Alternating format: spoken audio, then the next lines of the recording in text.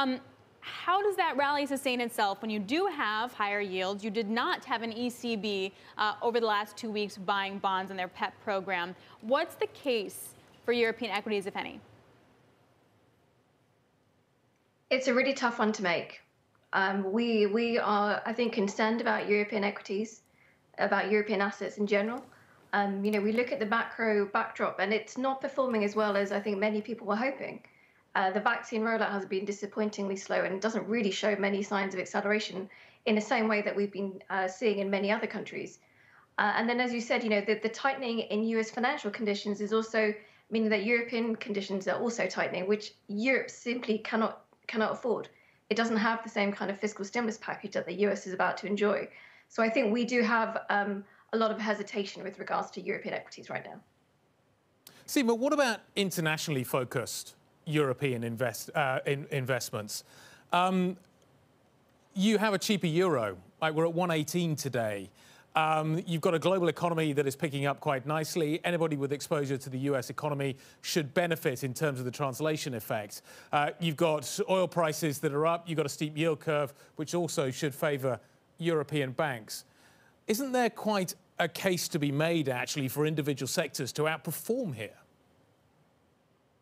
Yeah, I think I think that is key. So I think from a, a sectoral perspective, we do think that European banks will outperform. You know that that steepening yield curve is very favorable for the banking sector. But I think overall, you know, if we had to pick on a relative basis which region we want to be having that significant exposure to, unfortunately, at the moment, it's not Europe. I think it's still that the US is looking like the outperformer. And really, when we look at international equities, more generally speaking, um, although at the beginning of this year it was all to play for for international equities, the truth is that the US is really outperforming everyone it looks like it's going to be the strongest performer for, for 2021. So actually, a lot of the other regions, which are looking pretty good at the beginning of the year, are starting to pale in comparison to the US. But if you're looking at tightening financial conditions, why wouldn't that be the case for the U.S.? If the dollar gets stronger, yields rise, etc., when does that actually hurt? No, and I, I, agree. I mean, I think that's really is a key question for investors: is at what point does that rise in yields become too difficult. I think within the US, there is a real case for rotation.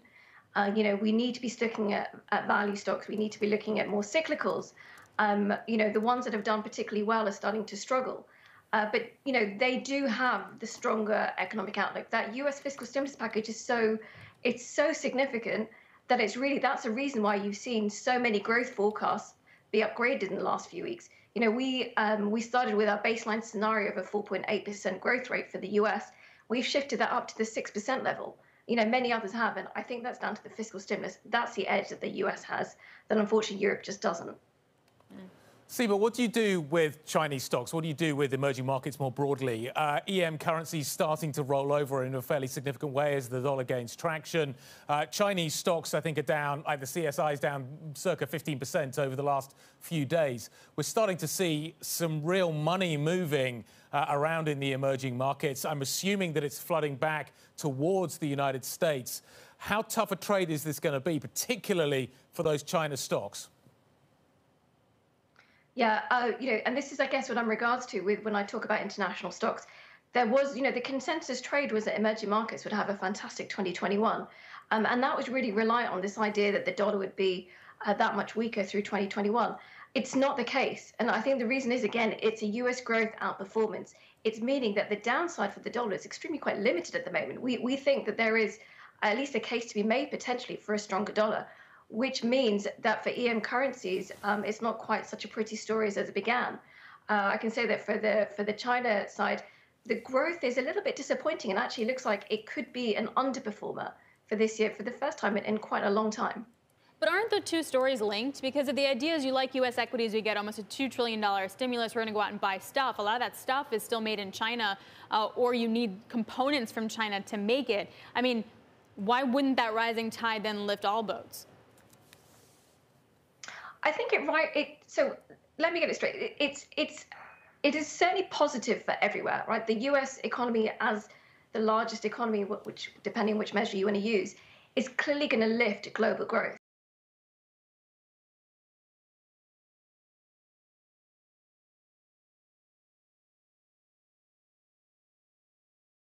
it's, it's down to that fiscal stimulus package. Um, you know, their COVID vaccine uh, rollout has also been very impressive. So we're looking at a reopening in the US economy, which is actually already underway. Um, and this is far ahead of most other countries.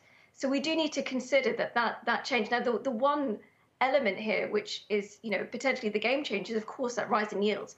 At what point do, do equities start to feel really suffocated? Um, I don't think we're there yet, and a lot has to be playful with the with the FOMC meeting next week. Yep. Um, but we do think that that you know equities will outperform in a strong growth environment.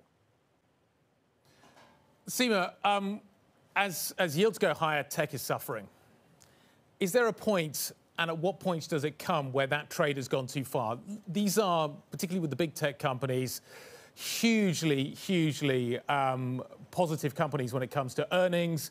Uh, they have an ESG factor attached to them in many cases. I, at what point do you think this, this kind of tech selling period is going to come to an end?